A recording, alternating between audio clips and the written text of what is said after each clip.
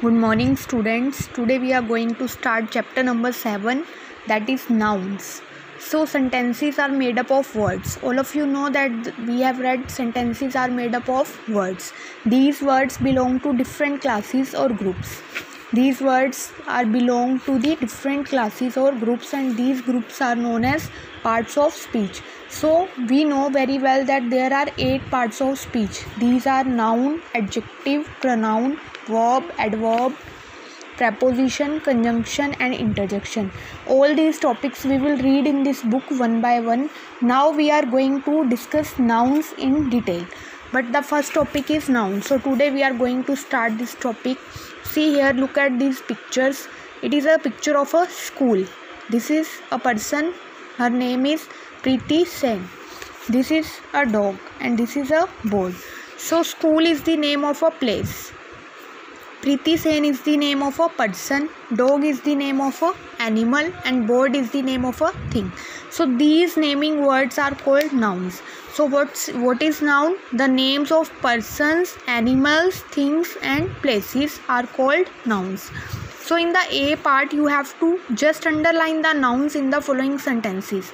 So wherever you find name of any person, any animal, anything or any place, you can consider it as a noun. So in the first sentence mother baked cakes and biscuits. So see here there are three nouns. What are those? Mother, cakes and biscuits. Mother is the name of a person, cakes is the name of a thing, biscuits is the name of a thing. So you have to underline mother cakes biscuits. Next is give me a cup of tea.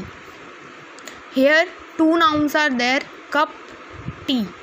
Cup is also a thing and tea is also a thing next is we get medicines from plants. Here also two nouns are there. What are those? Medicines plants. Medicines is also thing and plants is also a thing. Next is i have a pet dog. Now here is only one noun. That is dog. It's the name of a animal. Next is new delhi is the capital of india. So here there are two nouns. That is new delhi and place india new delhi is also a place and india is also a place it's the name of a country it's the name of a city next is my favorite fruit is mango now here is mango mango is the name of a thing so it is a noun Jyoti bought two books. Here two nouns are there Jyoti and books. Jyoti is the name of a person and books is the name of a thing. Next is the Gangas is a sacred river. Now we are talking about the Gangas. It's the name of a river. So you have to underline Gangas and river. River is also the name of a thing. So that's why you have to put underline to the river. Next is camel is the ship of desert so here camel is also the name of a thing and desert is the name of a place so that's why you have to underline camel and desert i left my pencil in school here pencil is the name of a thing and school is the name of a place. So underline pencil and school. I hope you have understood it that the naming words are known as nouns. Names of person animals things and places. So b part you have to do yourself. If you find any kind of difficulty then you can ask me. But here it's very simple. Here wherever you find the naming words you just underline them because they are the nouns next is the c part. Fill in the blanks with the correct nouns from the box below. Here you have been given some options and you have to use these clues to fill it here. First one is the dash was wearing a red hat. Who can be wearing a red hat out of these cowboy. So the cowboy can be wear a red hat. Next is is your dash closed today is your dash closed today? What can be closed. School. Is your school closed today? Have you seen those twinkling dash in the sky? What can twinkle in the sky out of these stars? So here stars will come. My favorite game is dash.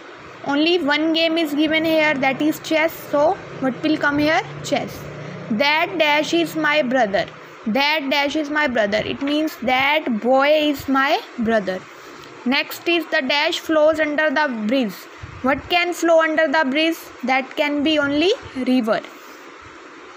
Several dash are grazing in the field. Who graze in the field? Cows. Several cows are grazing in the field. They bought a huge dash on my birthday.